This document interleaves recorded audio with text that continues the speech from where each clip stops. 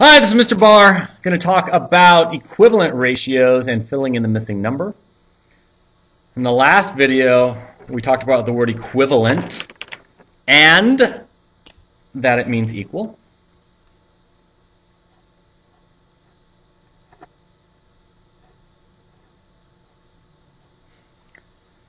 Let's look at this fraction right here. I have 3 fifths equals something over 15. Well, what is this something, this question mark, this unknown? Yep, there are the lights.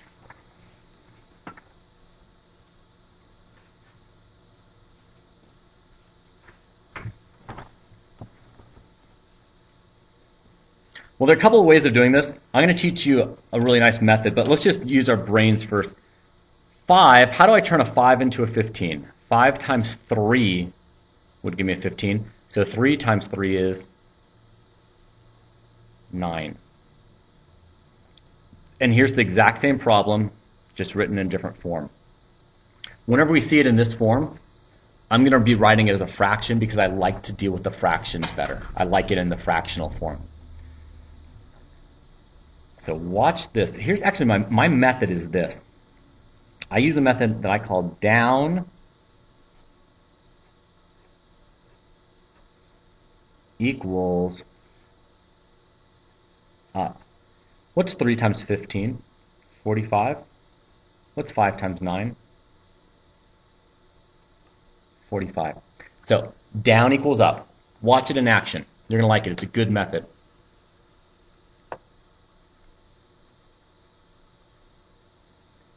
So I have this unknown. I'm going to use a variable to represent my unknown.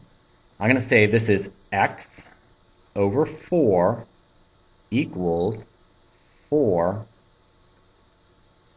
over 8. Now I can do this in my head or I can use down equals up. This one's pretty good for my head though. How do I turn a 4 into an 8? Well, if I multiply this by 2,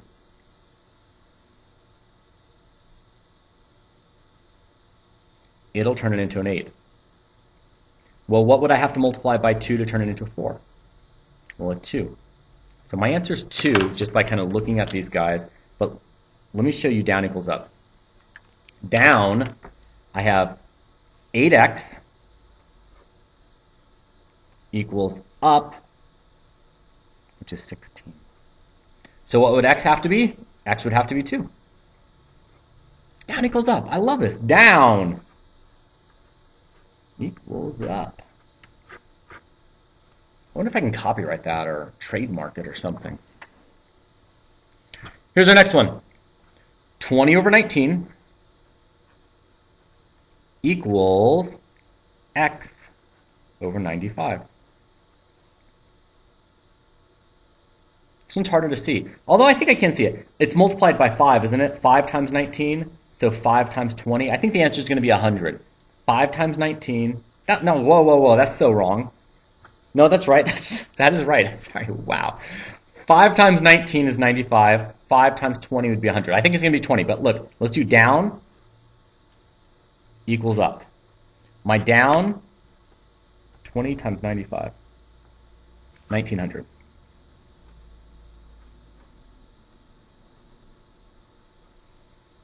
Nineteen hundred equals nineteen x. X has to be hundred.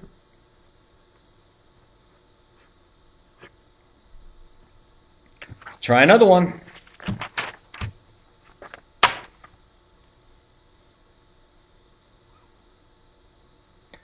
Fill in the missing number.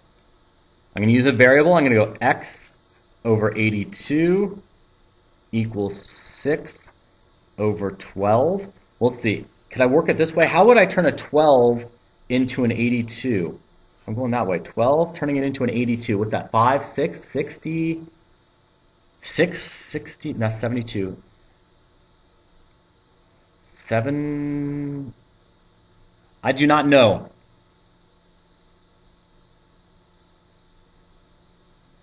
Well, this is a half, isn't it? I need half of that. This is a half, so that has to be a half.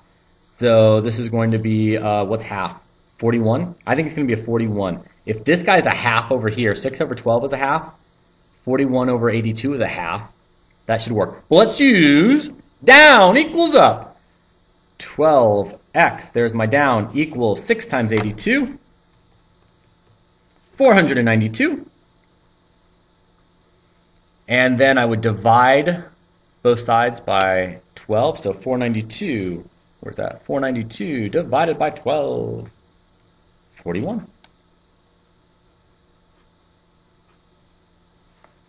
I actually like what I'm doing here. The idea that I'm doing it kind of in my head and then I'm checking it using down equals up makes me feel really good about my answers. This is how I feel inside right now. When I get an answer like that, there it is. I need a good color. I feel like this. I feel happy inside. Like this guy right here. He's happy. Why is he happy? Because the answer is 41. And it's 41. He confirmed it two different ways that it's 41. That's why he's happy. Okay. And one more. So I have x over 4 equals 80 over 16. Hmm. So 4 times 4 is 16.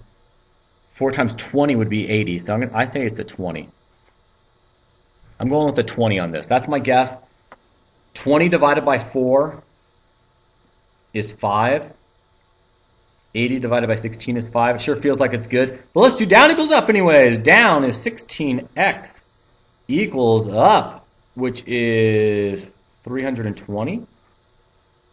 I'll divide both sides. I'll divide 320 by 16. What did I get? 20. 20.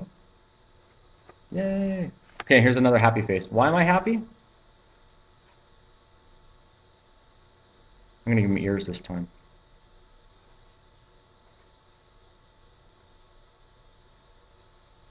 Oh, and a nose. And he's happy because he got the same answer both ways. Not as good. All right, that's it.